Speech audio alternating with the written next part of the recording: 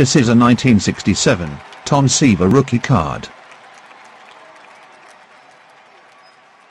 This card has been professionally graded a PSA 8.